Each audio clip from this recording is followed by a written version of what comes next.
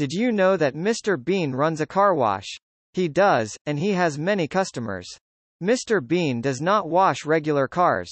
He washes advanced automobiles that you can't buy from a dealership. He has fantastic car wash strategies. However, he will only share his strategies with his fans. If you're a fan, hit that like button. In order to wash a vehicle properly, you'll need plenty of water. When the vehicle is clean, let it air dry. Never do this. If you're not able to wash your vehicle, take it to a regular car wash. Wait. That vehicle is too clean. It has no paint. Always ask for bubbles because bubbles are the key to a clean vehicle. If you have to wash a vehicle that has stains, always use a sponge.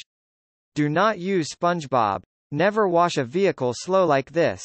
It could get impatient. If you like this guide, don't wash a vehicle like this. Like, share, and subscribe.